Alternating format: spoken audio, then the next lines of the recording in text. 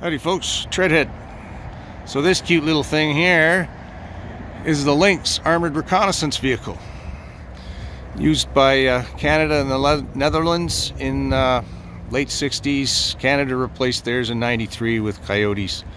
But uh, anyway, it's uh, 8.77 tons, uh, 215 horsepower Detroit diesel. Uh, it'll do 71 kilometers an hour. Probably that's probably on the road. I don't. They didn't. I couldn't find a, an off-road max speed, but uh, that might have depend on your driver.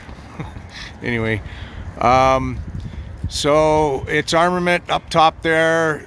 The it's the mount, but the gun is missing. It would normally carry uh, the M2 50 caliber machine gun, and uh, it would also, the observer would have a 7.62 millimeter um, GPMG on a pintle mount. Um, this one is here at uh, the St. Thomas Armories um, in St. Thomas, Ontario. So we'll move around front. And in front, right uh, on the upper glacis there, you'll see the trim vane. This thing's also amphibious. So apparently it'll do six kilometers uh, per hour in the water. It's driven by the tracks. Um, but apparently you have to uh, erect the trim vane, turn on the bilge pumps, and there are covers for things like the exhaust and the, um, the engine exhaust and the air intake. So Anyway, uh, just a note about uh, the M2 Browning heavy machine gun that would normally uh, be mounted up there, right there on that mount there. Um, it was uh, its development was started during the First World War by John Browning.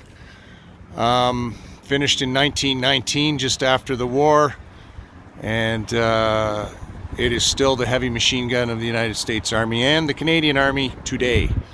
So 2021, it was first adopted by the U.S. in 1921, so that means it's been in military service for over 100 years, which is pretty amazing. Okay. So the engine's mounted in the back, the Detroit diesel. You look up on top there. I'm not going to go too far because the sun's just going to glare like crazy. And then there's a hatch to access the engine there. Okay.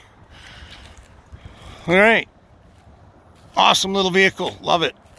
Anyway, uh, the Ontario Regiment has one in Oshawa, so the next time I'm down there, hopefully I can get some film of it actually running around.